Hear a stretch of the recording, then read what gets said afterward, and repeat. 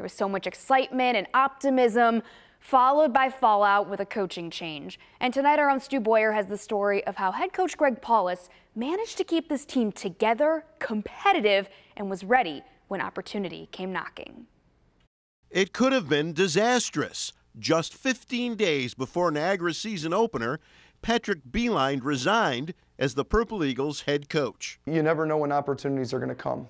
Anytime you get a you get a new coach, you got to start over. Greg Paulus was already on the staff and got great input from a number of coaches he played for, like Thad Matta and Mike Krzyzewski, among others. Just to be myself. One of the reasons I wanted to get into coaching was because of the relationships I have with them. The confidence and, and the belief and, in just, hey, you're ready, go do it, um, is something that's uh, I, I am appreciative of, and, and uh, we've tried to trust our instincts and, and, and follow our heart when, when leading.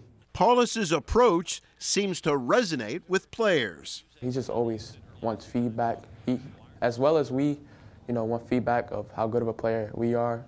He also wants to know um, what he needs to do better as a coach. You know, he's open to different ideas from his players, so that's very cool.